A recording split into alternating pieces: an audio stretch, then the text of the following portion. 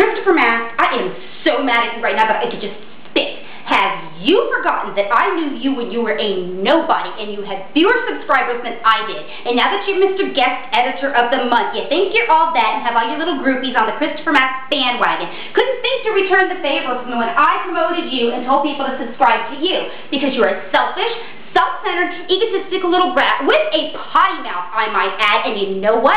I'm going to unsubscribe from you.